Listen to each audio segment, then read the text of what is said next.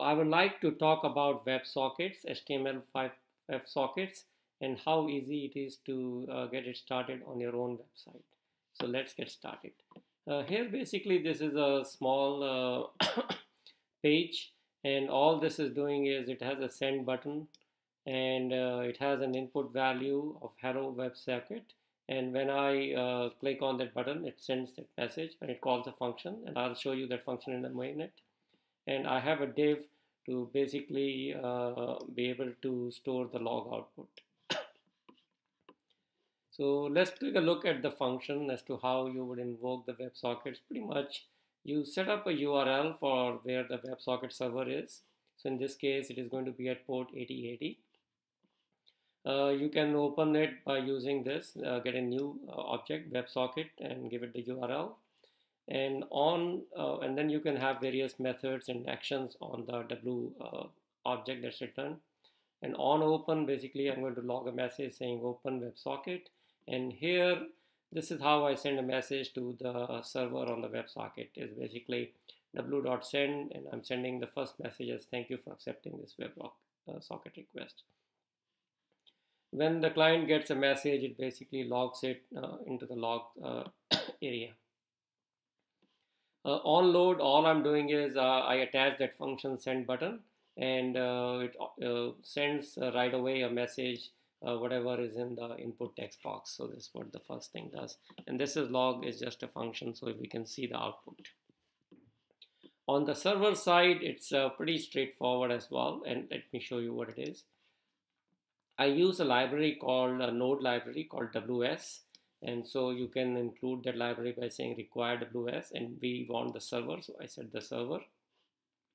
Here i create a new object wss and it's a new websocket server and it's going to be on port 8080 and once i have that object uh, on a connection all i do is uh, have a function and that function attaches the method on where the message comes in and uh, on the console of the server i print the message and then I send it back uh, to the client by uh, essentially prefixing the method with from server. So that's all this is doing.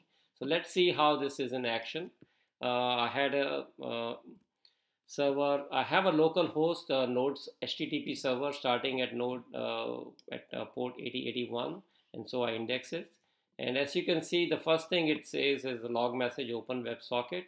And then as I told you, uh, what uh, the first thing uh, when the server does is when as, as soon as the uh, client connection is open it sends this message saying from server thank you for accepting this uh, WebSocket request. So at this time we do have a WebSocket open. And if you want to see how it is happening you can see it in uh, basically in this message. Here if I click on this this is the echo. And here you can see the status code where it says 101 switching protocols and uh, here uh, you can see the WebSocket version that's being used and there is the upgrade to the WebSocket. So which is kind of nice, you can see this. And on the frames, you can see uh, what frames are coming on the WebSocket as well. So here, let's uh, just uh, to make it a little bit uh, more clear, I'm going to send a message one from the client on the WebSocket. And here the server is essentially echoing that message from server message one. And we can see it in the Chrome uh, as well. If we click on the frames, it refreshes it and you can see the from server message one is coming.